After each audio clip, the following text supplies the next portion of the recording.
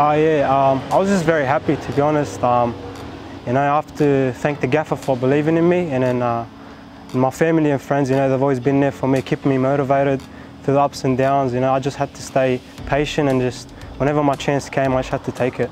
Yeah, of course, yeah, I'm very happy to uh, sign my first professional contract. And it means a lot because I've put in a lot of hard work and um, it's good to put a smile on my parents' faces.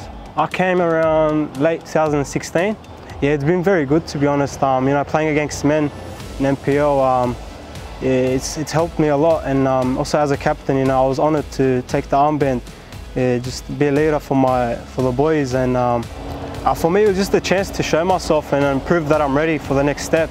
And you know, when the new gaffer came in, it was just my chance to show myself. It was a fresh start. So, you know, I was just ready for the opportunity, and I just had to get everything in training.